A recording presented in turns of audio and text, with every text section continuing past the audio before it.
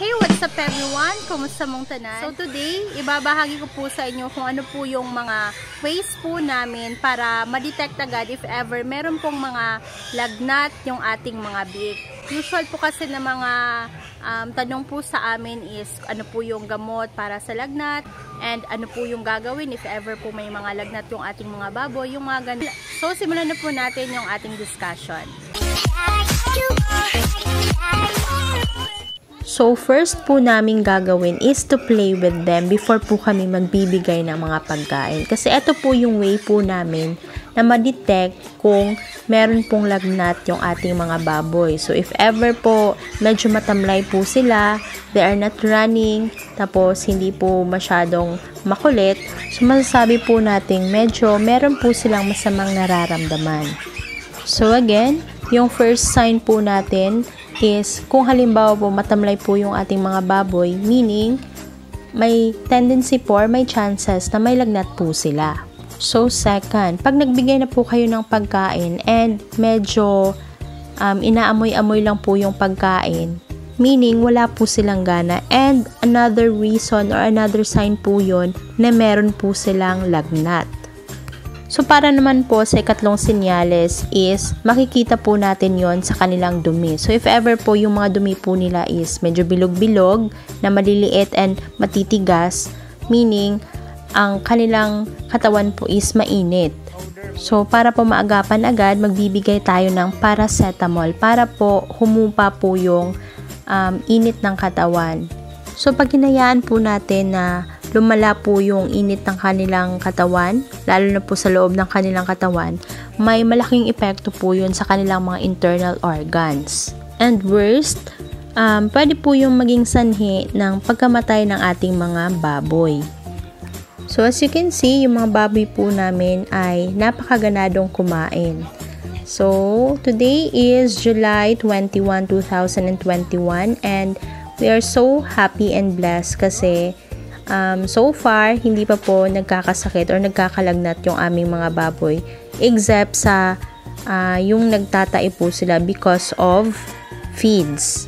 So, ganyan lang po kami magpapakain. So, lagdag lang po kami ng dagdag if ever po medyo kulang and medyo nanghihingi pa po yung aming mga baboy. So, hindi po dapat na magpasobra kasi um, of course, sasakit po yung kanilang mga tiyan. So, magtatain na naman. So, balik po tayo sa ating discussion.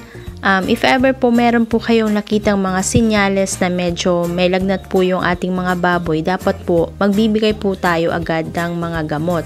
So, ang una po niyan is medyo hindi sila kumakain pero umiinom po sila ng tubig. So, dapat maglalagay na lang po tayo ng um, powder na may paracetamol and antibiotic sa kanilang tubig para po mainom po nila agad. So what if gabi po natin nakita yung mga signs na may lagnat po yung ating mga baboy? So ano po yung gagawin natin? Tapos wala po tayong nakareding mga gamot. Especially yung gamot na may paracetamol and antibiotic para ibigay po natin sa ating mga baboy um, ang masasuggest ko po is kumamit po kayo ng paracetamol na pang tao. So, if ever meron po kayong biogesic or anything na may paracetamol, pwede nyo po yung ibigay as first aid sa inyong mga baboy. Then, pagka tomorrow, pag halimbawa open na po yung mga veterinary store, then bumili na po kayo agad ng mga gamot para po maagapan yung lagnat ng ating mga baboy kasi delikado din po yung lagnat So, ito po yung isang tip na dapat po nating tandaan. Dapat if ever po may nakita po tayong senyales na walang ganang kumain, matamlay, tapos medyo matigas po yung kanilang mga dumi. So, di ba po, meron po yung lagnat. Um, ang gagawin po natin is wag na wag po tayong magpapaligo ng mga baboy. Kasi isa po yun sa mga dahilan na pwede pong ikamatay ng ating mga baboy. Gusto nyo ba yung mangyari? Di ba hindi? So, dapat behave lang po tayo. Kahit po medyo madumi yung ating mga baboy, wag na wag po natin silang babasain. Another thing, if ever po may lagnat po yung ating mga baboy, dapat magbibigay po talaga tayo ng paracetamol and antibiotic. Tandem po talaga yan sila. Hindi po pwede na magbibigay lang tayo ng paracetamol tapos hindi tayo magbibigay ng antibiotic. So, yung bacteria po nun hindi po mamamatay. And then, if ever po antibiotic na lang po yung ibibigay natin pero hindi po tayo nagbigay ng paracetamol, so namatay po yung bacteria pero yung init ng katawan ng ating mga baboy hindi po huhupa. So, meron po yung, as I said, malaking um, epekto sa katawan ng ating mga baboy, especially their internal organs. So, for our fourth sign, if ever po nagsusuka po sila, pwede pong um, dahil po yon sa lagnat. So, dapat magbibigay po talaga tayo agad ng gamot. So ngayon, magbibigay na po kami ng mga malunggay and it's 1 p.m. So sa mga oras po na ito, anytime po kasi manghihingi ng pagkain yung aming mga baboy. So instead of giving them pagkain, since kakakain lang po nila, magbibigay na lang po kami ng mga leaves or etong malunggay kasi ang malunggay po rich in vitamin C. So nakakatulong po 'yon to prevent mga possible na maging sakit ng ating mga baboy like ubo, sipon, or lagnat.